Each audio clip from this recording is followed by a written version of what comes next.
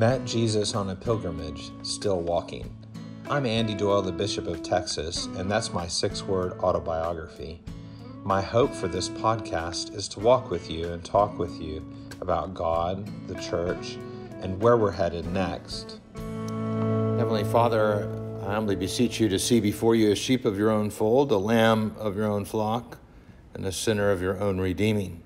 In the name of the Father, and of the Son, and of the Holy Spirit. Amen. Amen. Hey, why don't you all come sit like right there or over there?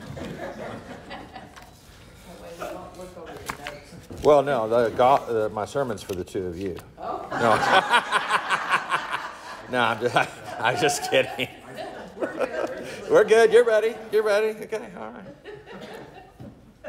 Um, our passage in the Gospel of Luke, chapter 12, uh, begins at the 22nd verse, is chosen, of course, because uh, some believe that it goes with Catherine of Siena, who we remember on, on this day. Um, maybe because she was a mystic, maybe that's why people thought these were good passages. Um, her inner prayer life, um, I would suggest, though, is the one that led her to serve. She became a saint not because of her visions or even her desire for the unity of the church, which she worked tirelessly for, among the many other things that she did. Uh, it was not for her service to the poor and the healing of the sick. Instead, I would argue it was because of the miraculous work that flowed through her from God. It was the grace and the mercy, power, and love that came from God through her into the world. Uh, this perhaps uh, most witnessed to by her life of caring for plague victims. Maybe that's an example of where we might see that, or visitations to prisoners. She loved to go see the, the prisoners, especially the ones about to die. Uh, she prayed with them. Her witness came, though, from, I think, a deep well of spiritual connectedness to God. In other words, it wasn't just, I want to do good, but it was actually a vocation that came to her in her own prayer life. Her ministry flowed from the tissue woven between God and herself in prayer, a tissue, I believe, open to all people, by the way. Um, but we might ask, what is it that gets in the way? Um, actually, I just think it's our life. Um, we're not solitaries. uh, we're not people of wealth who can escape the world or find somebody to support us in the manner in which we'd like to be accustomed. Live with others. We love our lives, love the people in our lives. I look around you and I think of those friends and loved ones that you you deeply care for. But there's something more, though. I, I think it's I think it's our identity.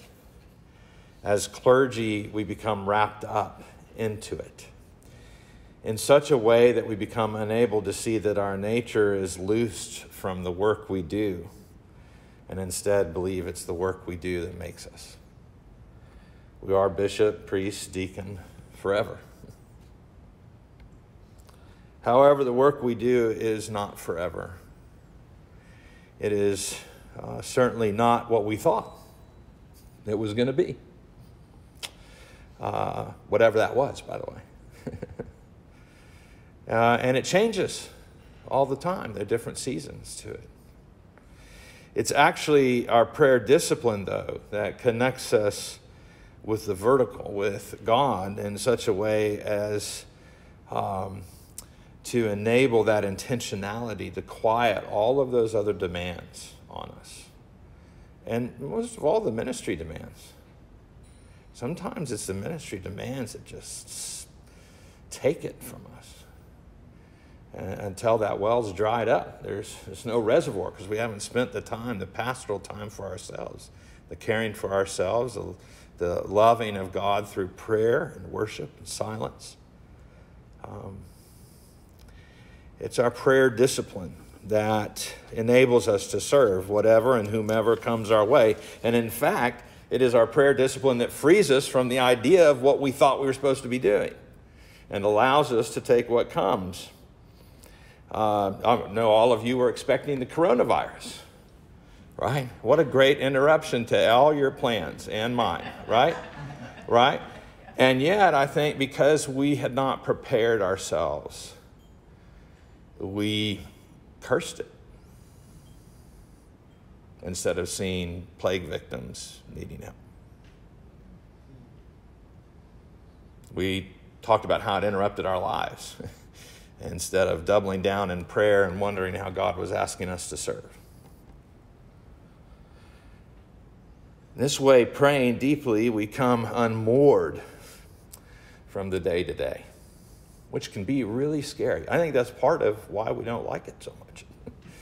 is wrestling with God in, in the desert, uh, you get your hip put out of joint and get new names and find out you're supposed to go uh, love your brother the next day when he comes across the plain to you. like it is an unsurprising, wicked, wicked relationship with the angels of the Lord that invites us to do God's ministry. Untethered from our desire for ministry to a certain way, things have to be. We become released from expectations that lead to resentment. And we're free from the game of numbers, wins and losses. It is in deep, regular, and intentional prayer that our relationship with the divine works. In other words, Catherine wasn't sitting around saying, Man, I made five plague victim visits today. Right? She made one plague victim visit at a time, I imagine, as she could, and didn't think about the numbers she needed to qualify in order to get her sainthood. She just did what was in front of her. Without it, we will, I promise you, worry about our life and what we'll eat. We'll worry about our body and our clothes, and we'll worry about adding time. Um, that's where the gospel gets it right. Uh, where the manna from heaven story offers us a little idea of how uh, this manna, this prayer, might last for well over 40 years. It's God's peace found in prayer that leads to action as the day progresses. It's such a, such a peace that is beyond understanding. You wake up in the morning and say, oh, huh, yeah, okay. Uh, this is how God wants me to be a deacon today, or how God wants me to be a priest today.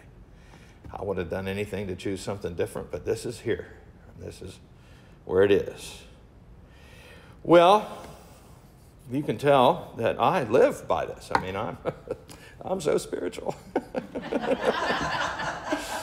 I never grouse at the Lord or complain about what's been given me at all. No, I'm just like you. Because we're human. We're human. Catherine of was a human person too. She only became a saint much later. You have to die to get sainthood. So the one thing that's completely out of your power is the only way you're going to mark the number. Uh, but I do return to it over and over again. And when things are out of whack, I know what's really wrong.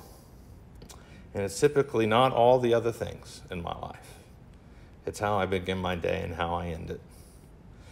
Um, I'm just a bishop, uh, and God seems to enjoy reinventing that job on an hourly basis sometimes. But I approach it with gratitude for the peace that I'm given. I am not like the lily of the field or the raven or the stag that's led to the water's edge or the sheep into green pastures. Um, but maybe over time I might glimpse a little bit of that peace and dis- disconnection from all of the to dos. Um, like Catherine, I think miraculous things are done through us from the God we're connected to. That's not we're, we're doing them because of our love for God. It's a very different thing. Each of you does it as a response to God and God's connection to you. And God works through you. Um, somebody asked, uh, as I close, somebody asked, one of the questions begins, I'll talk about this more tomorrow, but one of the questions begins There was a bishop once who said he woke up every day wondering what a deacon was doing. I don't. Just so you know. I don't. I don't want to. I don't want to know. I'm just gonna name. We are two different bishops on that count. Uh, but I do know what happens because of your work. And I get to joyfully sing the praises to God because of you and how God manifests God's self in the lives of so many people who are touched through your ministry. So I invite you to not give up on the practice because of the busyness, uh, but recognize somehow sainthood in this world actually is attached to your vertical connection with God and how God sends that power and mercy through you and deepens it and grows it so that the worry of life can pass you by and so you can serve the poor sinners, the broken, the hungry, those in prison, and those in need, shelter and clothing who might bump into you as the day goes on. In the name of the Father, and of the Son, and of the Holy Spirit. Amen. Thank you for listening. Join me in conversation on Twitter at Texas Bishop and spread the word about this podcast by leaving a review on iTunes. Thank you.